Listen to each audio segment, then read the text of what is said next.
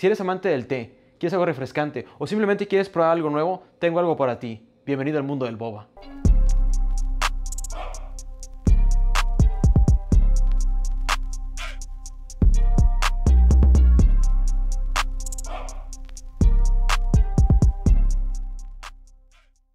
Originaria de Taiwán, inventada en los 80, esta bebida se elabora mezclando un tipo de té con perlas de tapioca que son masticables, también llamadas boba. Oye José, pero es muy difícil para mí conseguir perlas de tapioca en mi ciudad. No te preocupes, vamos a hacerlas desde cero. ¿Por qué? Porque es súper fácil y puedes agregarle muchísimo más sabor a las perlas. Y tenemos total control sobre los ingredientes. Y más importante, el sabor. Tanto si eres amante del té o estás buscando probar algo nuevo, el té boba es imprescindible. Con su textura única y delicioso sabor, seguro se vuelve tu nueva bebida favorita. En una olla pequeña agregas un tercio de taza de azúcar morena y un tercio de agua. Mezclas hasta que se disuelva. Calientas la mezcla hasta que empiece a hervir a fuego medio alto. Agregas media taza de almidón de tapioca y mezclas rápidamente. Cuentas 7 segundos, apagas el fuego y agregas la otra mitad de la taza de fécula de tapioca. Mezclas rápidamente hasta que se incorpore. Esto pasa muy rápido, así que presta atención. Recubre con un poco de fécula de tapioca una superficie plana y transfiere tu masa para empezar a amasar. Si tu masa se empieza a pegar mucho a la superficie, agrega un poco más de fécula de tapioca. Va a estar caliente, así que ten cuidado. Continúa amasando hasta que quede lisa y suave. Hay que ser rápidos aquí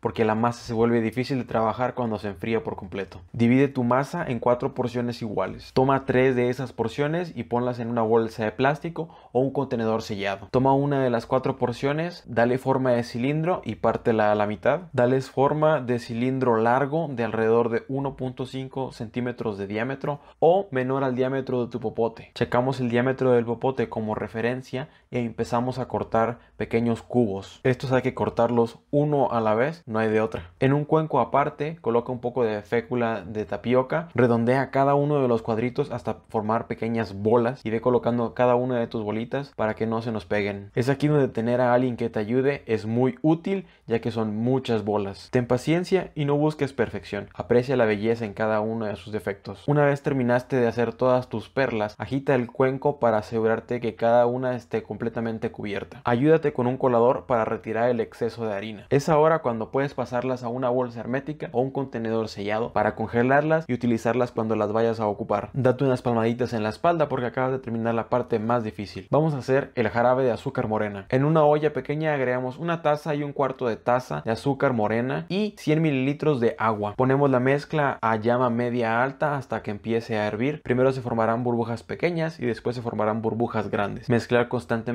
hasta que tenga una consistencia como de miel o de jarabe de maíz. Y listo, eso es todo para un jarabe de azúcar morena bastante sencillo. Para cocinar las perlas, en una olla grande coloquemos agua y la ponemos a hervir. Colocamos todas nuestras perlas y dejamos que hierva durante 20 a 30 minutos. Una vez pasado este tiempo, apagamos el fuego y dejamos las perlas reposar durante 20 a 30 minutos. Es en este paso cuando se vuelven semitransparentes. Este tiempo de reposo controla qué tan duras o suaves van a estar tus bolas. ¿Quieres bolas más duras? Déjala reposar menos tiempo. Más suaves, más tiempo. Escúrrelas y agrega un poco más de la mitad del jarabe de azúcar morena para evitar que se peguen. Ok, ahora vamos a hacer tres diferentes sabores de té de boba. Empezamos con un té chai de leche. En una olla pequeña agregamos una taza de leche entera o la leche que más te guste. Calentamos a fuego medio alto, removiendo de vez en cuando hasta que llegue casi a hervir. No queremos que hierva. Retiramos del fuego y agregamos una bolsita de chai de tu preferencia. Lo dejamos reposar de 4 a 6 minutos. Exprimimos la bolsita porque todavía le quedan sabores y ponemos a enfriar en el refrigerador o en un baño de hielos antes de usar. El ensamble es muy fácil. En un vaso colocamos una o dos cucharadas de tu jarabe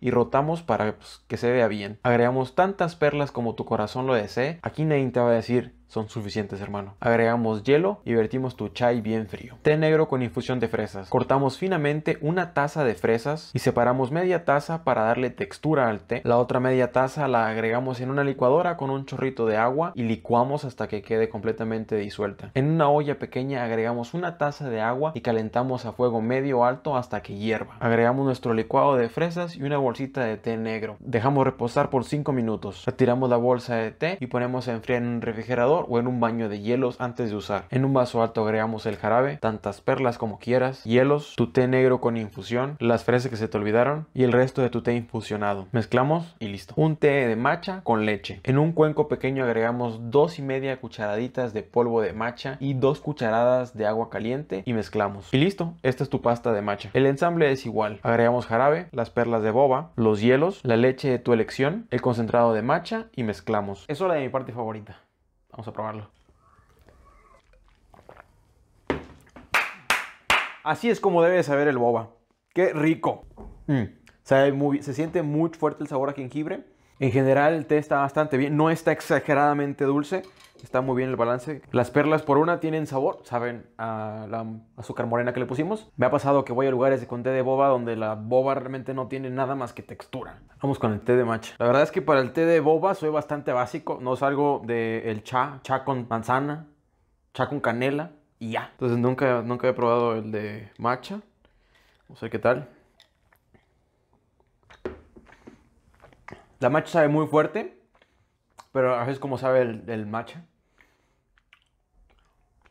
Y luego vienen las perlas de tapioca y le hacen con el dulce para complementar un poquito el sabor agrio del, del, del, del matcha. Vamos a probar ahora el de té negro infusión con fresas.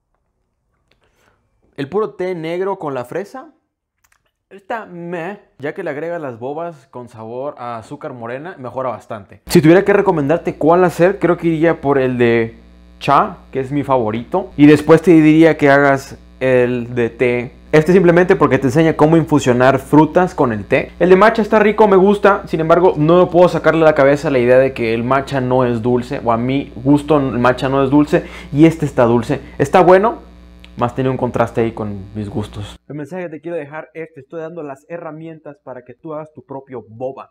No quiere decir que estoy diciendo que no vayas a un, lugar de boba local. Raza, eso es todo por el video de hoy. No quiero que se entienda que ningún lugar de boba es bueno. Hay lugares de boba muy ricos. Ve y compra localmente en alguno de tus lugares de boba. Sin embargo, estoy dando las herramientas para que puedas hacerlo tú y puedas hacer algo que ellos no tienen, ofrecen y tú tienes antojo. Si te gustó el video, aprendiste algo, dale like, suscríbete y nos vemos en el próximo video. Bye.